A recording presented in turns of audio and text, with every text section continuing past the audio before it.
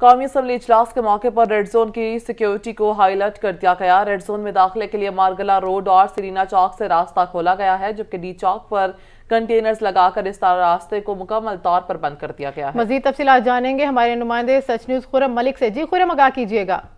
जी बिल्कुल जी इस टाइम हम मौजूद हैं इस्लामाबाद के मारला रोड पे जहाँ पे आज रेड जोन में दाखिले के लिए एंट्री पॉइंट जो है वो मखसूस किया गया है। यहाँ पे आपको ये बताते चले कि आज जैसे कि कौमी असम्बली का इजलास मुनद किया जा रहा है और इस इजलास के मौके पर रेड जोन की सिक्योरिटी को रेड अलर्ट रखा गया है, सिक्योरिटी हाई अलर्ट है। जबकि आपको ये बताएँ कि डी चौक में मतवातर कई दिनों से जो है वो कंटेनर्स लगा के रास्ते को बंद किया गया है। जैसे कि हमारे कैमरा मैन बिलावल खुर्शीद आपको दिखा सकें कि मालगला रोड के नाका पे हम मौजूद हैं, जहाँ पे गाड़ियों की एक लंबी कतार जो है लगी हुई है। यहाँ पे इस्लामाबाद पुलिस के अलावा यहाँ पे रेंजर्स के एहलकार भी मौजूद हैं और एफ़ सी के एहलकारों को भी यहाँ पे फ़राइज सिक्योरिटी के अदा करने के लिए तैनात किया गया है। तमाम रास्तों को रेड जोन में दाखिल होने वाले बहुत शुक्रिया खुरा मलिक आपका।